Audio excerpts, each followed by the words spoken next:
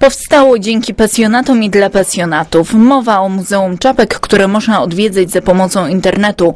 Adres strony to www.czapki.radzionków.pl. To muzeum założył m.in. Jarosław Roński, rzecznik prasowy Urzędu Miasta Radzionków. Wraz ze swoim kolegą zgromadzili 300 czapek. Pozyskujemy te eksponaty w bardzo różny sposób. Najcenniejsze dla nas są te, które zostały nam przekazane e, przez osoby prywatne. Część kolekcji pozyskujemy drogą zakupów, drogą wymiany. Wśród osób, które przekazały swoje czapki założycielom muzeum jest Na przykład były mieszkaniec naszego miasta, pan profesor Karol Musioł, obecny rektor Uniwersytetu Jagiellońskiego, przychylił się do naszej prośby i przekazał nam do swojej kolekcji swój rektorski biret. E, Mamy czapkę, mamy nak- na nakrycia głów od biskupów czy od kardynała, na przykład Gulbinowicza. Bardzo często te nakrycia głowy są nam przekazywane wraz z osobistą dedykacją osoby, która ją mm, wcześniej nosiła. Wszystkie te czapki twórcy muzeum przechowują w domu. Dyrektor Muzeum w Rudzie Śląskiej jest jednak za tym, żeby nie pokazywać ich tylko za pomocą internetu.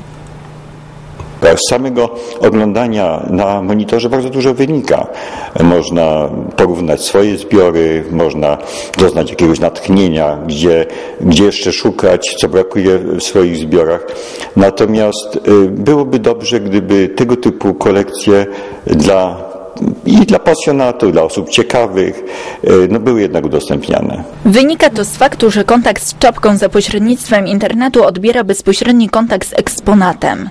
Nawet jeżeli obiekt pokażemy trójwymiarowo, jeżeli kamerą objedziemy naokoło, pokażemy zbliżenie, nawet szczegóły, które może nie zauważyć y, zwiedzający, to jednak przed monitorem nie poczujemy zapachu muzeum, nie przeżyjemy różnego rodzaju oświetlenia.